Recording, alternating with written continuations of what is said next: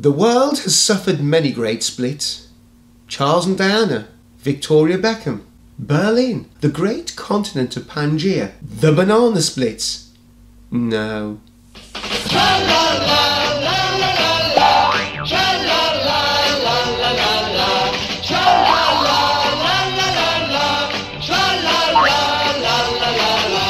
Stop that! Silly! In my book, A Cardinal Sin, I mention two great splits that the Roman Catholic Church has also suffered, during which those who would not toe the line stopped towing the line. The first, the Great East West Schism. Schism, I do love the word schism. I do need to use that more, don't I? You know, the banana schisms.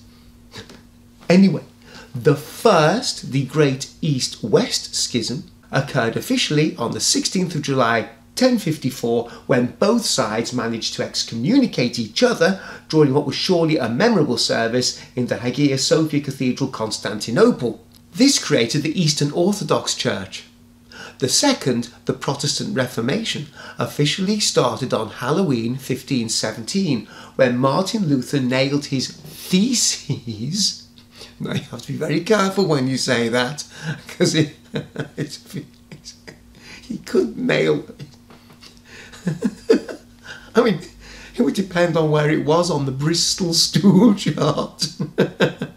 well, Martin Luther nailed his theses to the door of the Castle Church, Wittenberg, Germany. The question is could our latter day non towers of the line, the Roman Catholic women priests, really cause such a massive split?